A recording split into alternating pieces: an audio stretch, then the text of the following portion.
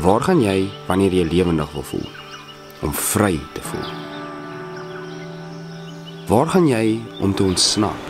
En wanneer was die laaste keer wat jy besluit het om ergens in die wilde wêreld te verdwyn, om onvoorspelbaar te wees en om die pad te sien verdwyn agter jou terwyl jy net aanhou ry? Wanneer was die laaste keer wat jy onder water of bo vuur gestaan het? Ek vra die vraag want die berge het 'n manier om vir jou asem te haal.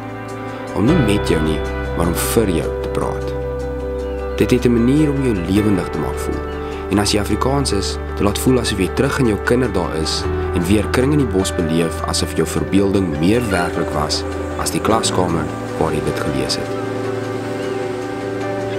Dan die see wat net harde houe uitdeel en vir ons die kans bied om elke nou en dan sterk te voel. Ek het al die waarde geleer in om nie noodwendig sterk te wees nie, maar om sterk te voel. Om jouself ten minste net een keer op te skaal. Om jouself in die mees antieke van kondisies te bevind, waar jy die blinde doodsteen alleen aankyk met net jou eie hande en kop